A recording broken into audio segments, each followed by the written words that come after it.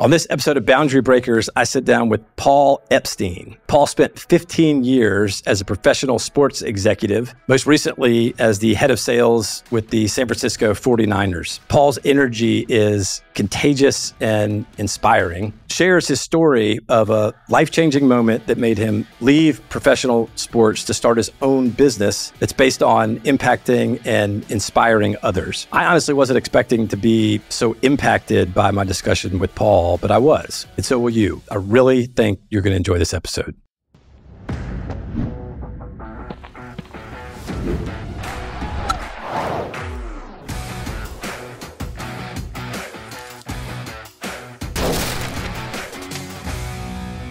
Boundary Breakers is brought to you by Carter and Clark. Again, man, thanks so much for joining us. I've been looking forward to this for weeks. Um, you know, as we discuss, one of the things I like to start with, just so our audience can understand you know our, our guests and, and, who they're listening to. Could you just give us a little a little bit of background on your origin story in terms of kind of where you grew up, your family Absolutely. life, things like that? Absolutely. And it's interesting that you say where you grew up because while you can't tell by a last name of Epstein, but I'm a proud Mexican descent. So mi mamá nació en Nayarit. I spent a lot of my childhood in Ensenada, Mexico. I'm in LA, so only a couple hours above the border. And so most every other weekend, all the holidays, I always say it was a lot of tacos and tequila. I only had the first when I was younger, but now I can enjoy both, thankfully. But nice. it was awesome. You know, it's a different part of the world. And California and Mexico, even though we border each other, it does feel like two different worlds. And the the spirit, the joy, the good times, the authenticity, like the culture, the heritage. I, I'm just such a massive fan. And like what what that really did for me early in life, Brandon, was it gave me perspective. It gave me perspective that there's different places, there's different types of people, what really matters. You know, you don't need money to be happy or to be fulfilled or to feel like it's a life worth living. And it's it's also humbling. It always has kept me very humbled to know that there is a different side, not only of the world, but there's also different chapters, there's different seasons. And so, fast forward, LA are the roots. LA is where I'm born and raised, and that's where I went to school all the way up to undergrad at USC. And I caught some good football days. I'm sure we're going to talk a little bit of sports in this conversation. I got very lucky. It is luck. I caught the Pete Carroll era. So that was back when, you know, Reggie and Leinart and the whole thing. Like I got lucky. It was very nice, by the way, as somebody that enjoyed their social setting, and I'll just be rated PG with that. Let's just say USC was a good time. And it was very nice to be up by 60 at halftime because it gave you permission to go back to the party. I love it. So, I love it. So it was cool, man. But the interesting thing is that I didn't know that you could work in an industry like I end up eventually calling a dream career and being a kid in a candy store. I didn't know that sports was more than something you watch on TV or you play in the backyard or you go to the games. I didn't know there was a business behind sports. I was a business major, but I didn't know there was sports business. Nowadays, it's common, it's very evolved, it's very mature. People know starting from junior high, senior high. I did not have that exposure. So I go to USC. I end up working for a Fortune 10 and coming straight out of school. And I'm calling on retail and wholesale accounts, consumer packaged goods company. And as I'm driving from account to account, of course, I have it on ESPN radio. And so whether you're a sports fan or not, there's a guy named Mel Kiper. If you are a sports fan, he's an NFL draft guru. He starts studying kids in high school and he can tell you who's going to project well at the college level and then who from college projects well to make it to the NFL and at what level are they a first rounder, second. So if you know, you know. And if you don't, that's who he is. And if you know Mel Kiper, you know that he talks like this. Like he is just a high energy, high intense. he's a guy and he can even through the radio really connect. And so he comes on ESPN radio, first commercial. I'll never forget this moment. He says, have you ever wanted to work in sports? Have you ever dreamed of working for your favorite NFL, NBA, MLB? And I'm speeding down the highway yelling, yes, yes, yes. And then his call to action was call 1 800 SMWW now. SMWW stands for Sports Management Worldwide. I made the call. I took the eight week online course. The professors and instructors were impressed and they said, Where do you want to be? Where do you want to go? What do you want to do? We'll make the calls. That was part of the commitment at the beginning of the program. And I said, well, I'm not ready to leave LA. I want to be in LA. They said, great. We know folks at the Staples Center. Mind you, this is circa 2004 slash five. Kobe and Shaq are winning championships with the Lakers. I was like, oh my God, I'm going to work for the Lake Show. and they did call Staples Center for me. And I end up working for the Clippers. So oh, wow. I will pause there, but but it was it was a pretty gnarly start, man. I mean, entry level sales guy. ESPN called us the worst brand in sports at that time. We were definitely the redheaded stepchild of the building. And then I still remember there was the front cover of Sports Illustrated back when magazines were still a thing, right? Front cover of Sports Illustrated. It's got three Clipper fans on it. The title of that publication, that that specific magazine was the worst franchise in sports history. There's three Clipper fans with paper bags on their heads, and the middle bag on the forehead says, "Just shoot me." So, welcome, welcome to sports, and welcome to sales, Paul Epstein. Oh, I love it. I love it. That's a fantastic synopsis and a fantastic summary. Um, but it is interesting, you know. I mean, the, the, the title of this podcast is Boundary Breakers, and historically, at least it, in my mind, when I think about uh, you know, professional sports executives, you usually think of somebody that's either you know a former player or you know uh, or a manager or was involved sort of on the other side of the of the line, not in the front office, and then ended yeah. up either retiring or making their way to that. And so the fact that that you ended up with a unbelievably successful career in professional athletics um, and took a different journey, I think is really interesting. And you certainly broke some boundaries um, to get there. But it's also fascinating that that I know that there's a lot more to it than that. You probably went through ten different interviews and and had to work your way up. But the fact that you called a one eight hundred number to sort of get into the industry is, uh, you know, that that's a story in and of itself. It's fantastic. Well, so you find yourself at the Clippers. What type of role did you have? And and you know, tell us about sort of you know your your professional sports career all the way up, up and through the uh, with the 49ers. Absolutely. So if you've seen the movies Glengarry Glen Ross, oh yeah, or Boiler Room, or Wolf of Wall Street, and you position those inside of the sports industry, that was me. I was wow. a phone banger. Okay. I was, it was the equivalent of knocking on doors in Glengarry Glen Ross. It was the equivalent of instead of selling shady stocks, here I am selling bad basketball. gotcha. Gotcha. So, but, but, but that's how it starts, you know? Like I, I, my friends, when they said, Oh my gosh, you got the job at Staples Center. And then when I told them what I eventually did, for one, they thought I was a guy with a sideways visor behind like a ticket booth counter behind the glass, yeah, you know? Yeah. They thought I Eating was in popcorn. the box office. And then the other thing is, of course, being a, a heavy Lakers town, especially at that time. Now it's a little bit more balanced, but Lakers are always still going to be the brand. But all my friends said, Why aren't you working for the Lakers? And I responded, They don't need me. They're sold out. There's no inventory, like there's no widgets to sell. And so you go where the opportunity is. And you actually said something too that I'll double click on too, because you said, Hey, you call the 1 800 number, and there's something to being a boundary breaker about that. And I agree because there's a ancient philosopher Seneca that has a phenomenal saying Luck is when preparation meets opportunity. So luck has it that I had it on the right radio station at the right time. I was ready to hear it, ready to act on it. And we'll talk all about decisions and actions as a byproduct of this conversation. I fundamentally believe, even right now in this podcast, if you're listening in, you could just have a great time and kick your feet up and stay on the treadmill or stay driving the car, do what you do. And it's going to be a fascinating conversation. I promise you that. That's the minimum. The maximum is you take a minimum of one thing and you do something about it on Monday, you do it.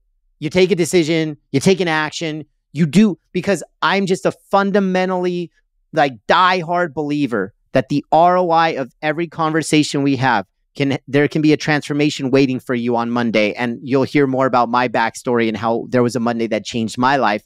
But really, Brandon, for me, the other blessing that I had when it was at the Clippers, it wasn't just working for the underdog. I, I believe that if you said, Paul, why did your career turn out to be so successful? Like, really anchor it down on one or two or three things. And I would tell you, I don't believe that I am where I am. And I don't even believe I am who I am from a character perspective, from a grit perspective, from a tenacity perspective, from a hunger perspective, if I didn't start by working for the underdog. Like if I started in the beverage industry, I never worked for Coke. I never worked for Pepsi. I worked for the can that said cola on it. Yeah. Okay. I worked for that. And when you work for that, nothing is handed to you, nothing is given to you. So even fast forward to the Niners, and I'm going to connect the dots in between. I was at the Niners when we were losing games. Now, present day, we're winning a lot of games. At the time, the Warriors in Golden State, they had their whole dynasty going on. And my buddies would call me and say, Hey, brother, we're kicking, and you know, blah, blah, blah, blah, blah. I'll keep the language clean on this show. Yeah. But needless to say, I was like, Oh, that's cool. So you're really good at picking up inbound calls. That's awesome. like I, I would throw it back in their face, like, dude, I'm not giving you any credit. I'm not giving you any credit. Oh, I generated $2 million in sales. So what? So what? People know where to find you. Yeah. When you have to scrap and claw for everything, that's being a boundary breaker. And being a boundary breaker is there is no boundary that you do not stay. You just have to be hungry enough to break through it. Like there has to be a deeper why, a deeper burn, a deeper passion, a deeper purpose. It's more than just a product. It's more than just a service. And the number one product and service in the world is yourself. Amen. So if you're not going to sell yourself like it's the last day in the earth, then nobody else is. And so you hear it in my voice, like the same way that I found success selling the Clippers was I really taught myself about controllables and I taught myself about what are some things that I can do at this early stage of my career that are 100% in my control. It'll insulate me from the negativity of the environment. Because believe me, there was a lot of toxic energy, a lot of booing, a lot of F bombs, a lot of, it was rough in those early stages. But I found a couple of things that I could really make my calling cards. And here it was. And then I eventually introduced this when I got promoted to sales manager as the LA Clippers. And I'll tell you the end of that story as well. Work ethic, positivity, and coachability. I fundamentally believe that that has been the through line of every single chapter of my career. I work my tail off. I stay relentlessly positive no matter how negative or toxic an environment gets. And when you say coachability, I'm an unfinished product till the day I die. I'm obsessed with growth. I'm obsessed with progress. I'm obsessed with momentum. I'm obsessed with being 1% better tomorrow than I am today. I'm obsessed with being 1% better today than I was yesterday.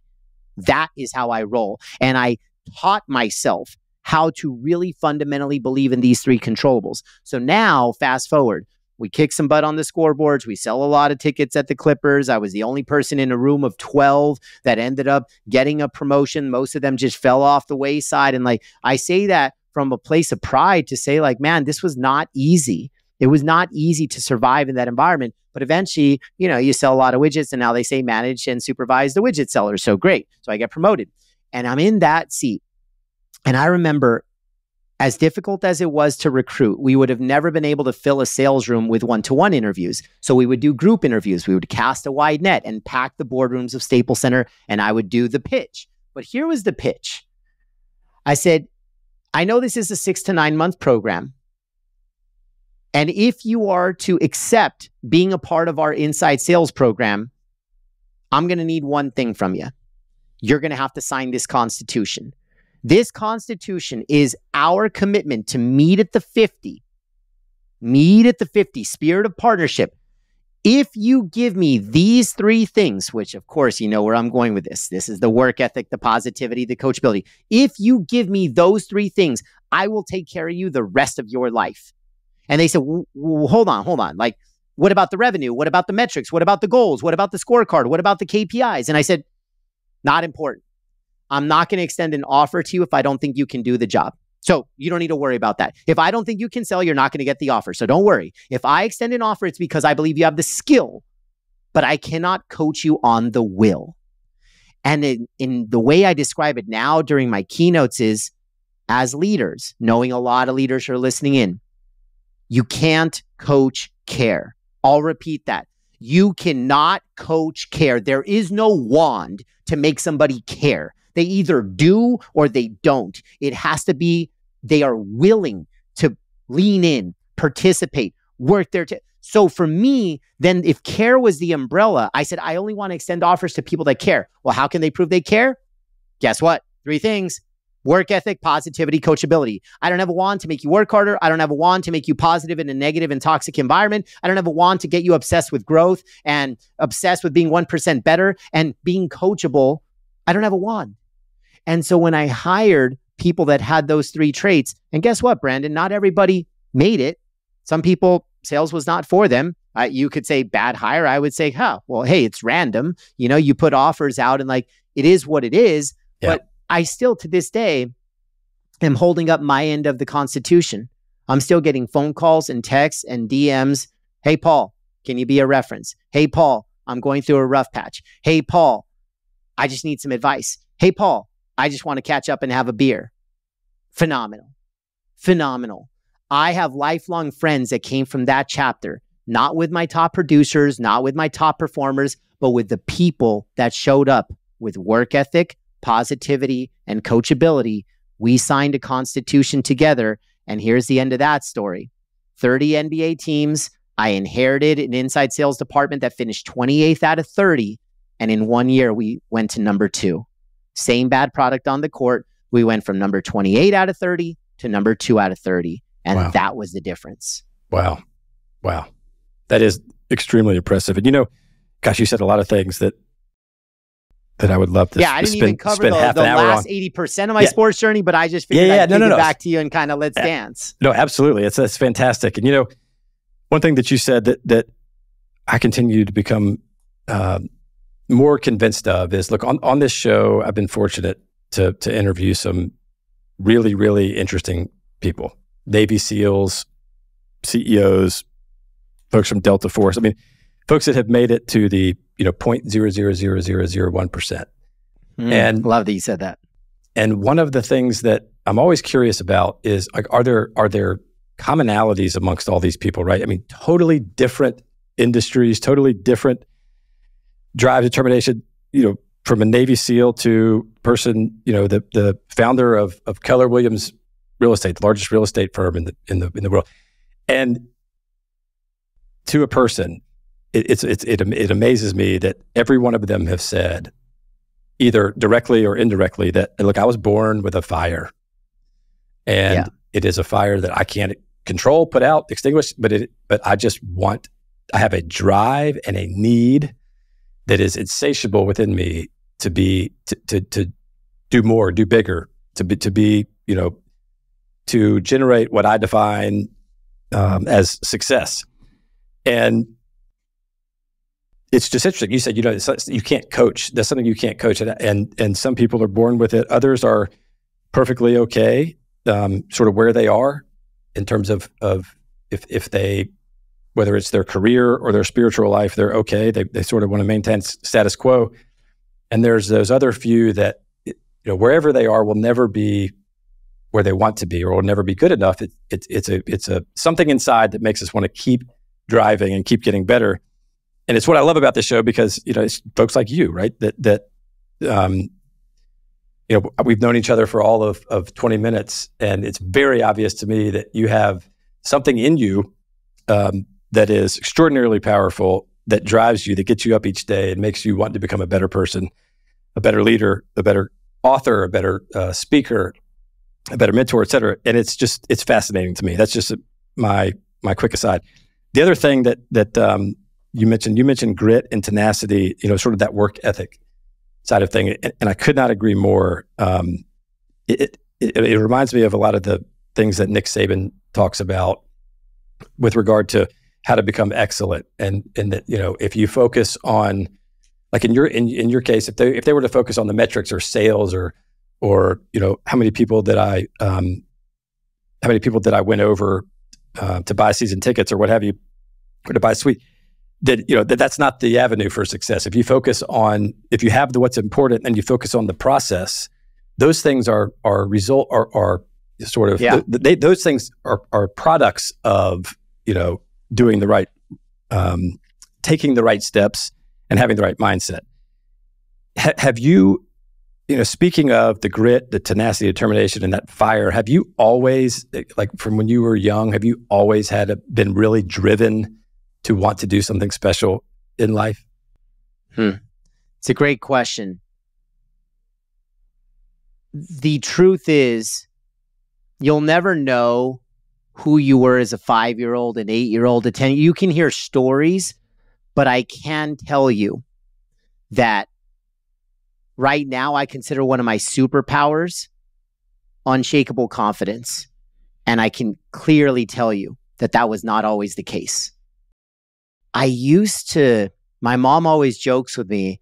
She, you know, because fast forward and I ended up being known as the Why coach after this life changing retreat. I'm sure we'll talk all about that with the Niners, but I became very purpose driven. And that's where a lot of the passion and the burn that you, that you've already heard today in this conversation comes from. And it's a lot tied to my late father and losing my hero at 19 years old. So there's, there's, there's a lot of peaks and there's a lot of valleys that I've already been through. And I'm happy to talk about any of them. But she always says, it's interesting how now you're known as the Why guy but you always used to be a what's the point guy. Like I didn't always go for it. As somebody that wrote a book called The Power of Playing Offense, I don't think I used to play offense, definitely not consistently. And so I didn't always get in the mix. It was it was really I now have a very clear picture. It's almost like a Venn diagram of when things start to flow out of you, when you see somebody working their tail off. And again, you can't coach them to do that. They just naturally want to do it. If you gave me 95%, here's a cool thing to share with you. I don't know if I've ever said this publicly, but happy to. If you gave me 95% of jobs in the world, I'm not convinced that I would work hard. I'm not because I wouldn't care about them. Those aren't my things. I think you need to find your thing. And then it does, I don't need to try to work hard. Brandon, right now, I wake up religiously at 4 a.m. because I want to. Right. I want to. I do the work in the unseen hours. I am even stronger behind closed doors than I am on stage. I am so disciplined. I'm so committed, and nobody has to remind me. Nobody has to tell me. But if you told me to go do XYZ in a different field, in a different industry, and go get a paycheck and not be in, in my mission and my calling and my pursuit of what I am destined to do, which is everything that I'm doing today, you're not going to see the best version of Paul. You're just not. I could do it temporarily it wouldn't sustain, it wouldn't last, it wouldn't be organic, it wouldn't be authentic. So therefore, it wouldn't be excellent. Right. And so, you know, a couple things to double click on too with what you said, Nick Saban, and the immediate thought that comes to my mind is standards. We could call it a standard of excellence. Cool. Here's something I want to share with our audience right now. To be great, obsess over standards not goals. Standards over goals. Standards over goals. Standards, you can rise to the level of a standard every single day. Goals, even if you're amazing at what you do, you're going to hit a lot, you're going to miss some. We're all human, but you never have to miss your standards. And so when you establish clarity around a standard, that's somebody that I would bet on. So that's one thing standards over goals. Now, you might have heard me a handful of minutes ago, Brandon, talking about, or I, I almost said I love that when you said, quote, 0.0000001% in the world of what they did. I use the exact same metaphor for this. So when I was in the NFL and NBA, that is the top 0.00001% in the world at what they do. And what fascinated me is their gifts, their talents, their skills, their abilities, it's not even their separator anymore. They made it.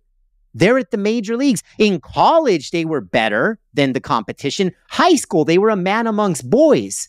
But now, the fraction of gap of talent or gift or skill or ability in the NFL and NBA, the best player versus the worst player, there's not that much of a difference in their gifts and talents. So then why do some of them thrive and others fail? Why are some super consistent and some are radically inconsistent? It's not gifts, talents, and abilities. So I started to study What is that silver bullet separator? And I don't disagree with what all your other guests have said as far as the hunger and the passion and the burn and the, I used obsession. Yes, of course. Of course. That's the fuel. That's the oxygen. That means that you're doing the right thing. However, I do have a silver bullet separator and then even a process on how we can all apply it to our own lives. When I started to study why some players in the NFL and NBA are consistently excellent, they are highly resilient, they are constantly evolving and iterating to become the best version of themselves. Here was the gap between them and the rest of the pack confidence. Confidence became their currency. Confidence was their fuel. Confidence was their oxygen. They were dialed in. If I play in the NFL and I'm a cornerback, so I'm guarding a wide receiver, if you smoke me and I give up a touchdown, I have to be able to say next play. Like the way that they just almost this power of neutrality. Yeah. Like they they don't have if the average person gets plus 8 when something amazing happens and gets minus 8 when something horrible happens, these dudes bottom out at a minus 1. It's just a minus 1. It's like it happened, I can't do anything about it. Move on. Now, there's a trade-off. There, we also and I put myself in this camp we struggle to smell the roses a little bit. So, because it's kind of a pendulum, right? A plus eight can become a minus eight. If you bottom out at a minus two, you might never feel more than a plus two, but that's okay. It's a worthwhile trade off because it just kind of keeps you grounded, it keeps your equilibrium, it keeps you neutral. But this level of confidence, I've been really researching it and studying it. Literally, the subtitle of my second book would title Better Decisions Faster, subtitle Unshakable Confidence When You Need It Most. That forced me into the lab to really study confidence. And why do some people lack it? Why do some people have it? Why are some consistent? Why not? My life has been two chapters pre confidence and post confidence. And so I really was motivated to understand why did I used to lack confidence? Why was I inconsistent? I had a good outcome, so I was confident. I had a bad outcome, I was not confident. I'm still Paul. So now, if something horrible happens in my business tomorrow, which it very well might, fine, I'll figure it out we'll move forward. That sucks, but we're going to be all right. I can't promise you I'm going to be all right in a week. I promise you a bigger picture. My stock will always go up and to the right. It's going to be jagged. There's up, like, I get it. But if you are a stock, just make sure that you're constantly going up and to the right. So here's a process for confidence, and then I'll kick it back to you. This is something you mentioned folks that have been on your show, Brandon. I have coached this to Navy SEALs. I have coached this process to Olympic athletes. I have coached this to Shark Tank entrepreneurs. I have coached this to Fortune 100 CEOs. And it is transformational. And here it is there's a formula, and then there's a way that we put it on paper to bring it to life. The formula for how you build and sustain unshakable confidence is confidence equals values times action. I'll repeat that. Confidence equals values times action. The multiplication is how consistently you do it. In other words, show me a person that takes consistent action on their values. I will show you a confident person, period, full stop. So now let's put it on paper. The first step is you got to know what your strongest core value is. If you don't already know, let me give you a cheat sheet. If you're listening and you say, I don't have a freaking clue what my values are, or I have an idea, but I don't know, like, eh, Google a list of personal core values. You'll come up with lists of 50, 70, 100. Choose the one that jumps off the screen. It jumps off the page. It just speaks to you in a way where the Latin definition of inspire is it breathes life into you. It should be a word that inspires you. It should be a word that breathes life in you. Pick that word. Now, the process for how you put it on paper is this. The good news is you only have to do it once a week and it only takes two minutes. It's a journal. And this is what I've coached to SEALs, Olympians, CEOs, Shark Tank, the whole thing. This is the process. The journal reads For the week ahead, I will live my value of blank by blank. The first blank is the value that you just chose. The second is an action that you connect to the value. Remember, confidence equals values times action. This is how we put it on paper. So to repeat it, the sentence is for the week ahead, I will live my value of insert value here by insert action that's connected to the value. Let's play with a few hypothetical examples. Let's say you chose a value like joy. Awesome. So you could journal something like, For the week ahead, I will live my value of joy by cooking my favorite meal. Sweet, simple, small, accessible. Anybody in the world could do it. For me, I'm throwing bacon in a pan. What are you doing? Whatever brings you joy, you do you. So that's joy. Now, Brandon, let's up the ante a little bit. Instead of joy, let's go with courage. Let's say you chose a value like courage, which is one of my personal ones. You could journal something like, for the week ahead, I will live my value of courage by having that challenging conversation that I've been putting off. You wouldn't be having the conversation because Paul said, you would have the conversation because courage was a core value. So now you know how the process works. Final critical caveat, and then I'll kick it back to you. I don't care if it's a SEAL, an Olympian, a Fortune CEO, me, you, anybody listening in. If we only do this process, this journal, one or two times, and you do it once a week, no change, no transformation. I'm sorry. I'd be lying to you. The good news is I've shared this with thousands of people, and I now clearly see the delineation of when transformation occurs. And it's because habits form. It's the same reason why New Year's resolutions are ineffective. We don't have a consistent practice or process or system. We don't stick with it long enough. Our heart's not into it. We're, we're making decisions for the wrong reasons. This is based on a core value. So your heart cares. Remember, you can't coach care. So it means something to you, it matters to you. And then the beauty of habits is we have enough science and research to back this. Habits form in three to four weeks consistent practice, consistent process, consistent system for three to four weeks, it will stick as a habit. So, shocker, the action item is commit to four weeks. Get past that threshold of habit formation. Stick to the same value for four consecutive weeks. Joy for four weeks. Growth for four weeks. Impact for four weeks. Excellence for four weeks. Courage for four weeks. And I swear to you, Shark Tank, Fortune, Olympians, SEALs, everyone listening in, the fourth week is when things explode because you might have journaled one action, but because it's now internally a habit loop, value, decision, action, value, decision, action, value, decision, action. And that's how you become the most confident version of yourself because the simplest way to describe it is you're keeping the promises you make to yourself. When you journal an action, connect to something that matters to your core, like a value, and you do it week after week after week, momentum builds, habits form, and confidence is the outcome. Fascinating. Fascinating. Look, as support to, you know, you, you, you started the discussion highlighting that what's the difference but amongst um, sort of the, the elite among the elite. Be, um, and you, you remarked that it was confidence. Um, sort of to, to highlight that, I, I, was fortunate enough to hear a, a fantastic, uh, world famous sports psychologist by the name of um, Bob Rotella speak, and he spoke to a small group, and he, he he's worked with um, like some of the top golfers in the world, Phil Mickelson, LeBron James. He's worked with a lot of the world famous athletes um, on the psychology of what what how to get better even though they already are among the best.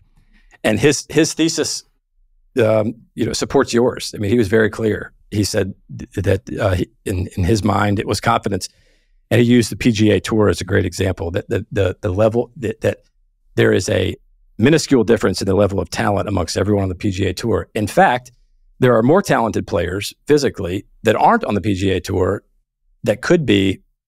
That's fascinating. Yeah, and that the difference is 100% in their mind. And just one last just anecdote that I found anecdote that I found fascinating is, you know, he, he delivered this thesis and then he said he explained how he helps athletes. And there was one uh, professional basketball player that came to him that was amongst the leading in all statistical categories except for three point shooting. And he's like, "What can I do to get better?" Well, uh, Rotella talks to his his team and gets all of the tape, like all the videos of this um, this guy playing from when he was in high school through present day, and had it cut up. And the highlight reel was every three point shot he's ever taken and made. And then he went back and asked, "Hey, I need like your three favorite, uh, like three favorite songs at the moment." And like you know who's your favorite artist? So it, he he overlaid those songs and it ended up being like a 15 minute video of the basketball player making three pointers over and over and over and over again. And um, i don't remember the exact stat but the next season you know he increases three point percentage by like six six percentage points. And, and, and he was very clear like there's more to it. I mean obviously he had to practice. I mean of like, course. all types of stuff but that was just you know, he said, you know, something as simple as visualizing himself making yeah. the three pointer. So I, I, just thought that was fascinating. It sort of relates to sports. I don't pretend to know what I'm talking about. I'm just re- was relaying what, what I thought was a fascinating discussion, but it, it, it supports exactly what you said with regard to confidence. I'm curious. So, so you, you know, you eventually make it to the 49ers. Um, tell us a little bit about your role there. And then will you tell us about the life changing moment that you had that that led to your current career or your current Absolutely. what you're currently doing now? Absolutely. So the the bookends of the sports career, which in total ended up being about 15 years. Clippers were the beginning, Niners were the end. I'll talk about the Jerry Maguire leap from the Niners. But in between, New Orleans Hornets, now they're the Pelicans. The really fascinating part there was we almost lost a team to permanent relocation. So again, if the Clippers were walking through fire, yet another fire coming for me via New Orleans. And we had to have a franchise saving campaign, make it bigger than basketball. And, and that's a whole nother conversation. Hop over to the Sacramento Kings. And now, yes, director of sales, but really HR took a liking to me. So they said, we'd love for you to champion all of our culture initiatives. Basically, it's almost before there was a thing called the chief people officer. Yeah. That's kind of what I was doing beyond the sales scope and the leadership scope. And then three months after that, tap on the shoulder, bang, league wide labor lockout. So, how do you manage morale when it feels like people's livelihoods are taken away? And so, yet another fire to walk through. Then I joined an agency, a global sports agency owned by the Yankees, Cowboys, and financial backing partners as well. So, the Jones family, Steinbrenner family, definitely a lot of blue chip brands, a lot of high powered weight there. And it lands me in the NFL league office to consult for roughly a year to oversee revenue for the first Super Bowl in the history of New York. And so, you know, you can think about HQ and 345 Park Ave is right down the road, and then hop over the river, and right there, it's like now Big Apple, and welcome to the biggest sporting event in history, and this whole thing. And wow. I'm heading up uh, a 50 person sales army spread throughout the country to basically we did a 5x revenue growth expectation versus the prior year, set some all time Super Bowl revenue records. So that turned a lot of heads to say, who are all these people? And because I was kind of the point guard of that campaign, I did, humbly speaking, get a, a big spotlight out of it. And that's when the Niners came calling and said, We're opening up Levi Stadium. It's going to be a building and venue unlike the world has ever seen. We're going to have to monetize it 365 versus just the 10 dates of football what if we created an executive level role for you? It ends up being head of sales, chief revenue officer type role, but basically it was a created role because of the work that I did at the NFL league office and breaking those Super Bowl revenue records. And so I was in a total dreamland there, Brandon, because it for one, I'm a football guy. So to no offense to basketball, but my heart was always in football. I just it was the hardest nut to crack. It, it, nobody leaves NFL jobs, so it's really hard to get in. But through these circumstances and performance and the right people believing in me, here's actually a cool insight to share with you. Because you said earlier, oh, you must have had 10 interviews in between. That's not far off from the truth. Let's call the number five, six, seven, whatever it was. But here's the cool news my last cold interview of my life was LA to New Orleans. I have had nothing but interviews ever since then that have you ever heard the saying of don't throw up on yourself right? When you when it's like hey you're pretty you're not being handed the opportunity but it's like dude we already put in a good word. Don't screw up the interview pretty please right? Because now they're putting their name on you. Right. that's pretty much how all of my hops after new orleans went. Somebody fell in love with how I was showing up and the type of output and the type of performance and the character and the DNA and the spirit and the positivity and the energy. And it's like, Paul, we got a spot, we got a spot, we got a spot, we got a spot. So that's a beautiful lesson for all of us to like, yeah, break your own boundaries, but earn the right where people are willing to break a boundary for you too. Ooh. Right? Like let's let's win together and create fans and ambassadors of you. And that was a big thing for me that I always authentically tried to surround myself with a tribe of like-minded, like-hearted people that just wanted to be equally as excellent and we just supported each other. Now, Niners. It was a wonderful place. Still to this day, the favorite place that I ever worked because of the culture. The culture was what separated that place. And I got to catch two different regimes. There was the Harbaugh regime, the Lynch and Shanahan regime, and it was different. I'm going to be kind about this and talk about the second half of my time at the Niners. But when Lynch and Shanahan came in, they rebuilt the culture brick by brick when we weren't winning a lot of games on the field. And so morale wasn't always sky high in the front office. But the way that they showed up instantly, Brandon, I knew if this is how they're going to treat people for the long game, I bet you we're going to start winning a lot of football games again eventually. And these guys are going to be the reason. And sure enough, at the time we're recording this, in the last three, four years, a couple Super Bowl appearances. And yeah, like some seasons haven't turned out well in the last game. But dude, we're as good as any team in the NFL. And it's because of those two guys and their leadership and how they showed up. And I saw, I felt the difference. I felt the authenticity. I felt the belief in each other, in the environment. Uh, they tore down a wall. It usually was football over here and business over there. And don't you dare cross over the wall. They said, screw down the, screw the wall, tear down. Brick by brick, we're going to rebuild it. So I was really loving that chapter. If you would have asked me then, are you ever going to leave the Niners? I would have said no. If you would have asked me, what else would you do if you didn't work in the sports industry? I, I would have said, what are you talking about? Like, I'm retiring a sports guy.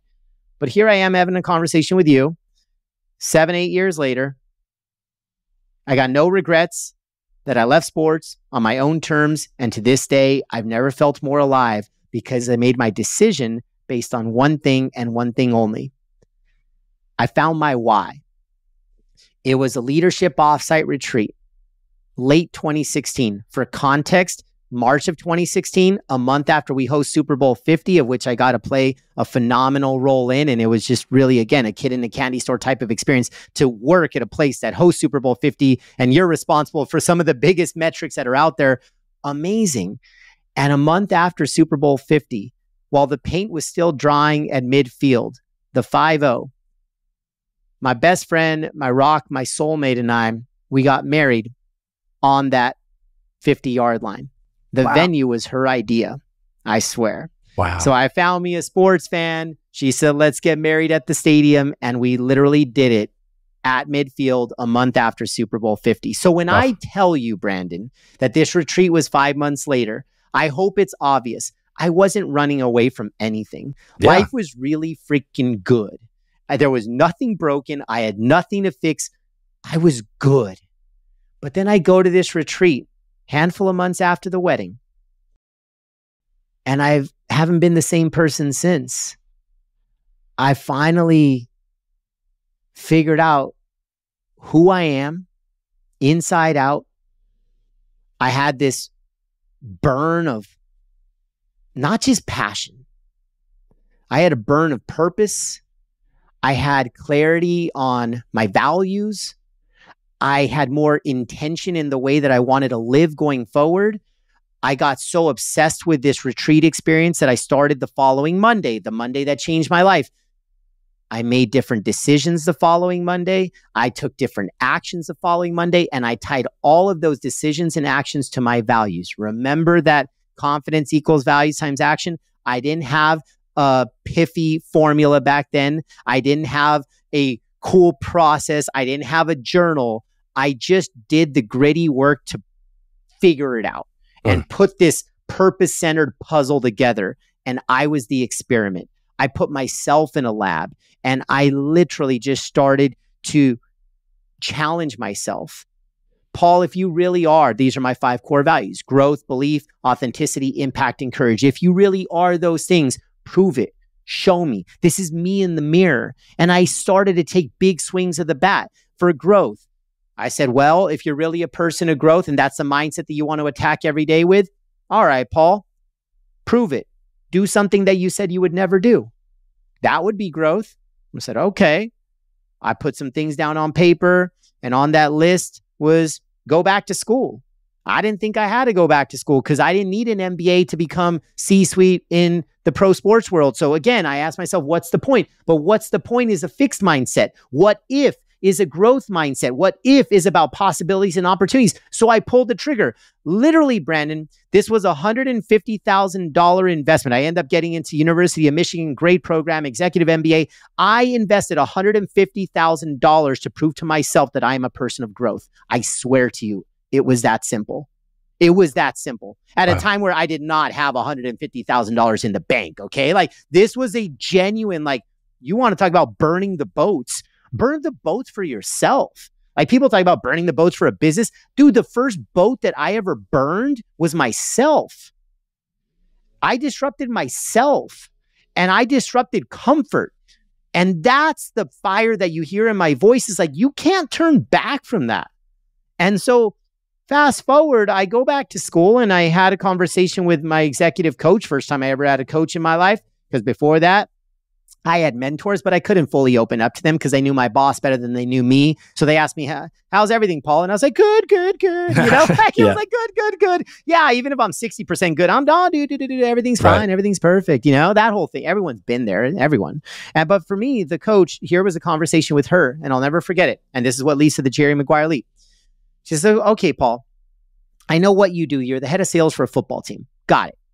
What do you love about it? What do you hate about it? What do you tolerate? So, love, hate, tolerate. And I answered all three. Great questions for all of us to ask about anything a person, a place, a career, anything. Love, hate, tolerate. I answered all three. She said, go deeper on the love bucket. I said, all right, Sue-Ann. Well, I love being a coach just like you. I love being a leader. I love the people side. I love the culture side. But I do, Sue-Ann, I want to be a coach. That's what lights me up. And she said, awesome on a good day, what percentage of your time do you get to do that? I uh, thought to myself, I'm slouching down in my chair. 20%. The truth is probably 10, but my ego puffed it up. And she said, okay, Paul, if I wave a wand and you become your boss tomorrow, does that 20% go up, down, or sideways? And I thought my boss is almost all strategy, no people. So, Sue-Ann, I think it'd go down. And this, Brandon, was the question that changed everything for me. She asked, So what are you after? What are you after? Such a simple question, but it can have such profound meaning, especially if you haven't asked yourself that in a long time. And so as I thought about what am I after, Brandon, I stopped asking myself that really early in my sports journey.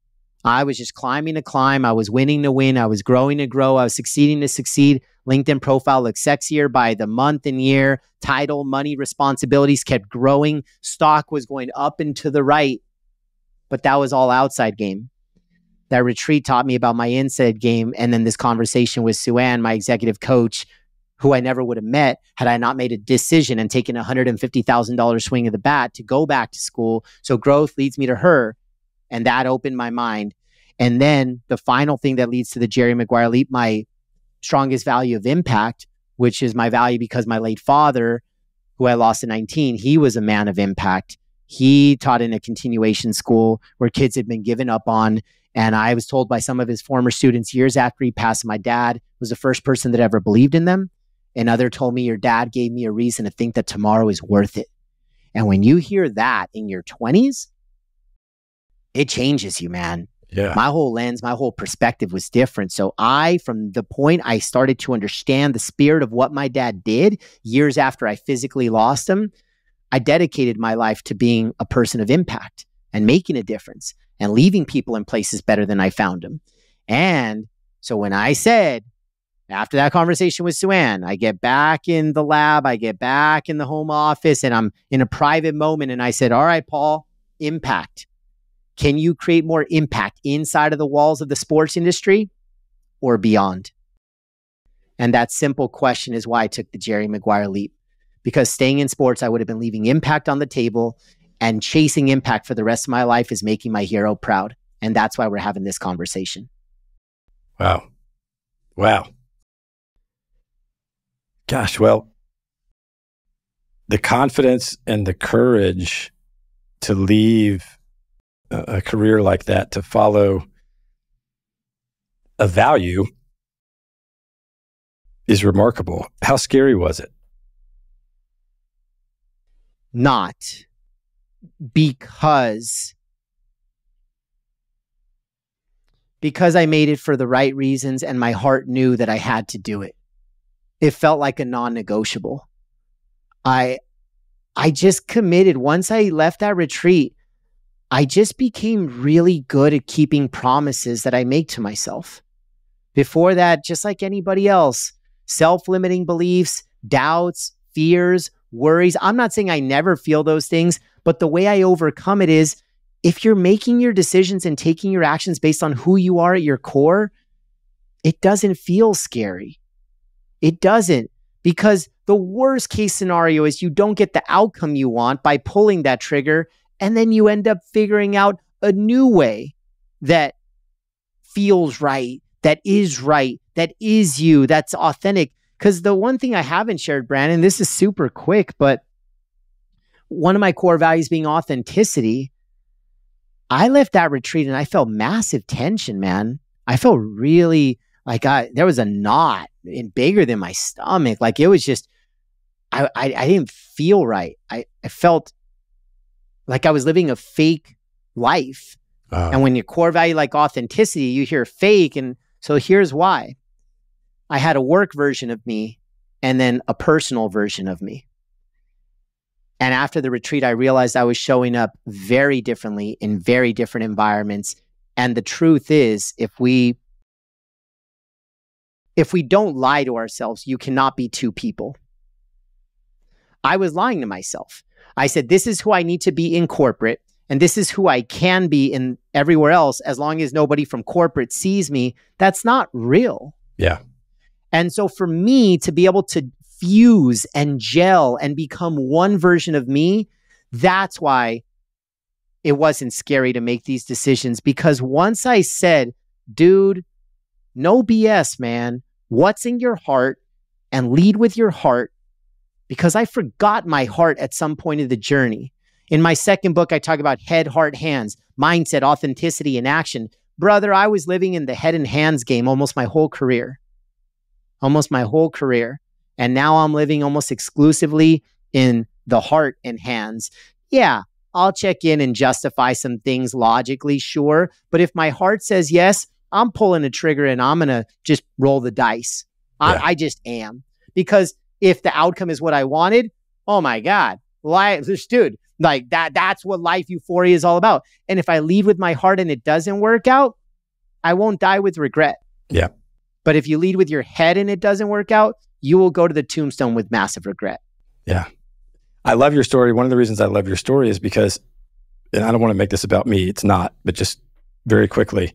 So I started my career um, as an attorney. I guess I'm still an attorney, but I started as a practicing lawyer at at um, like the preeminent law firm in Atlanta. You know, the sort of the the, the golden ticket, the job that everybody yeah, wanted. Yeah, And I hated it, hated it. Yeah, and ended up following my heart, like like you. And the greatest decision I've ever made. And I love what I'm doing now. But so so it resonates with me. It resonates. Your story resonates with me. What was it just really quickly, and then I want to I want to focus on exactly what you're doing now and how people yeah. can can get involved there. But what was it at this retreat specifically that sort of flipped this light bulb or flipped this light switch? Excuse me. Do you know, or was it just was it was it you know just like the the summation of of the discussions? I've thought about that a lot, and the process of the retreat. The tightest way to describe it is you do a lifeline exercise you draw a horizontal line through a blank sheet of paper. On the left side is birth, on the right side is present day. Above the line are peaks, below the line are valleys. And you share the stories of your peaks and valleys with a partner. And my deepest, darkest valley was losing my hero at 19 years old and losing my dad. And I had never told anybody at work that I lost my dad. You know, like it just you don't talk about it. Sports is massively lacking vulnerability. Massively. It's a lot of ego, a lot of alpha, a lot of, you know, perform at all cost type mentality. And so I never felt safe. I, I wasn't psychologically safe to, which is why I had to create the work version of Paul. Right. Okay. And so this retreat where I'm bawling my guts out and talking about my lost hero, it it wasn't because I was talking about my dad that I cried. It was because of I felt like I was, and this is, I'm not criticizing anybody in any industry. This is just a conversation with myself that I had with myself. I think I was crying because I was disappointed that I had tucked this pain away for so long in an environment that if you do the math, you're going to work over 100,000 hours over the course of a career. So to think that the biggest chunk of your living hours where you're awake, you're going to do this thing called work, and to think I couldn't talk about the things and the people that are most meaningful to me in a vulnerable way. Again, I'm not knocking an industry for that sure. statement. I'm saying for me, I was crying because I realized like this isn't real. And yeah, I, I, I don't want to open up my Monday morning sales meeting be like, hey, guess what? I lost my dad. Like, of course not. But I also think like shame on me and shame on us that we never really got there. And so like the reason I think it opened me up and I was so willing to change coming out of the retreat. And I'll tell you this, Brandon, here's a very fun, positive way of thinking about it. My favorite part of what I currently do, which my calling is keynote speaking. I do other things besides keynote speaking, but like that's what I want to be doing till the day I die. Like 100% you cannot take those stages away from me. Like that is where I'm supposed to be. Breathing life into rooms and people and making people and places better than I found. I'm like, that's why I'm here on this earth. Now, my favorite part of being a keynote speaker is it reconnected with me with my dad. Mm-hmm. Because I literally close every keynote sharing the story of my dad, and then of course applying it to the audience to make it impactful, so they remember it to and apply it to their own lives, and that's a whole nother conversation but I feel so connected to my dad. And uh, he passed away in 2021. Uh, sorry, um, 2001. I was like, wait, that was way too recent. Yeah, he passed away over two decades ago. And I feel closer to him now than even when I was physically with him. Wow. And I owe that to this Jerry Maguire leap. I owe that to being able to talk about him, not just safely, but inspirationally. Like I, I've told my dad's story now to close to a million people like that, that's that's so cool, man. It's so cool. So you said you have five kiddos. You know, I, I don't know if we were on camera, off camera, but you're a dad, man. Like, yep. dude, like imagine one of your kids is is connecting to you based on finding their calling. Like, I, I bet you that would be one of the proudest moments of your life. Yeah, yeah. And I lost my dad when I was 11, and so ah. it it it so much of I mean I, I keep wanting to jump in because so much of what you're saying I just I want to jump up and down and be like, yes, and give you a big hug. Uh, so it, it's, it, it's extremely inspirational to me, as I, am sure it will be to, to, uh, to the audience as well. So, so tell us, uh, we, I got to wrap us up uh, here in a minute. Time flies sure. when you got a good guess. But so t- tell, tell us about, you know, exactly what you're doing at the moment. Make sure to, um, if you can, to mention your books yeah, absolutely. And then for people that are that are intrigued or interested or inspired, where can they go to connect with you? So the the home of everything is paulepsteinspeaks.com, but let me just say this. Besides paulepsteinspeaks.com, just to connect with everyone listening in. If this conversation in the spirit of it as if you feel like you're ready to do more, do better, do different, if you're ready for that transformation, if you're ready to grow, just like I was post retreat, the Monday after the retreat was where my life changed. I believe that next Monday can be equally transformational for you. So when you see me wearing a shirt, win Monday. When you hear my podcast, win Monday. When I say from stage, win Monday. The ROI of every time I connect with an audience, even in a podcast, it's the decisions we make and the actions we take on Monday morning. So, where I want to, from my heart, invite everybody is go to winmonday.win. It's called winmonday.win, Monday Momentum. It's me in your inbox 52 Mondays a year with one thing, one idea, one strategy, one tool, one tactic, one way that you can win Monday so you have momentum to win the week. So at winmonday.win, putting your name and email, it's a free gift from my heart to invite you in to the Win Monday community. That would mean more than anything. Of course, as a leader, if you have a team, an organization, a culture, bringing me in to speak, paulepsteinspeaks.com, amazing. Books are going to be on the website. Everything's going to be on the website. But for you personally, as a human being, winmonday.win is where your Monday momentum journey starts. Awesome. Fantastic. So, in addition to keynotes, tell us quickly about your books and and your your organization and what your focus is right now in terms if in like two minutes. I'm sorry, I know we got to we got to no jump. no no no. Jump, we're but, good. We're good. Uh, okay. And and look, the organization is Win Monday. Like at the end of the day, like no plug for any organization. But but here's the, okay. the quick and dirty of the books. Two books, both bestsellers instantly. Very humbled to say that. The Power of Playing Offense was my first book. It was the leadership playbook that I never had when I got promoted from player to coach and you sell things and they say supervise the sellers and I said where's the playbook and they gave me a blank stare and they said good luck, I knew that was not right. And so instead of moaning and groaning about it, I wrote the solution a decade later. It was what I needed as a leader. So five pillars of playing offense, first two on leading self, third and fourth on leading others, the fifth on leading into the future. That's the transformation of the power of playing offense. That's the first book. Second book is really an outgrowth. It's a 2.0 of the first book, Better Decisions Faster. I started to study what separates offensive versus defensive people, teams, and organizations. And my team and I did the research, and we found that decisiveness was the number one separator. And so, if decisiveness and making decisions is going to be what uh, leads to a winning life, oh, let's not just make decisions, let's make them better and faster. Fun fact the average adult makes 35,000 decisions in a day. I did not write the book to master all 35,000 because most are on autopilot. So you don't need a book to turn left in the driveway or brush your teeth. I, mm-hmm. I think I hope. But what I did in the sports fashion of an MVP, a most valuable player, I wrote the book for your MVDs, your most valuable decisions. The ones of higher consequence, the ones that matter more, as a leader, strategy A or B, team, do I hire or fire? Do I spend my time on X or Y? Do I make the investment or not? What are my goals for this coming year? The quality of those decisions is going to dictate the quality of your life. The quality of those decisions is going to dictate the quality of your business. I wrote the book for that. And that's really where we land the plane.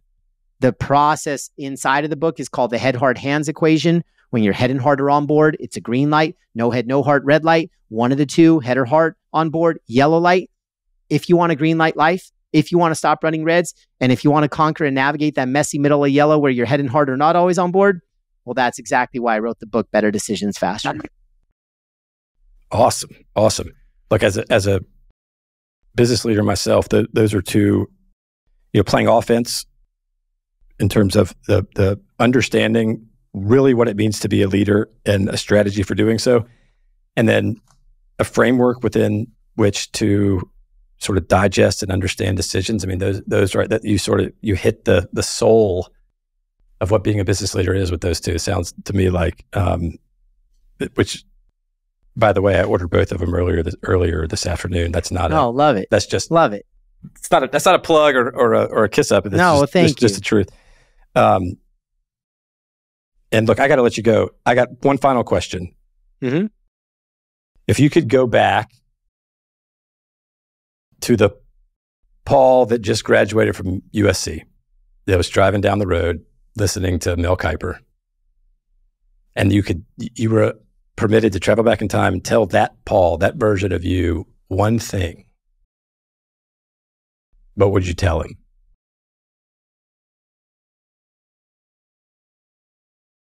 Live a green light life.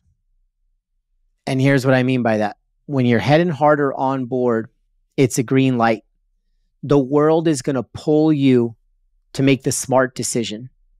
Paul, go make the heart decision. Heart decisions win the long game. Heart decisions mean you won't die with regret. Heart decisions lead to happiness. Heart decisions lead to fulfillment. Heart decisions lead to passion, purpose, impact, legacy. Heart decisions make you a better parent. Heart decisions make you a better student. Heart deci- I could keep going. I would just go all in on the heart. You're going to get enough head in the world. You're going to get enough strategy. You're going to think. You're going to overthink. You might get paralyzed. So I'd say, screw that, Paul. Nobody needs to remind you to do that. But what we do need that constant reminder of, and what I would tell 22 year old Paul is if your heart is not on board, then you're never going to live a green light life. So start with your heart and go chase that. That's what I would tell the 22 year old version of me. It's fantastic.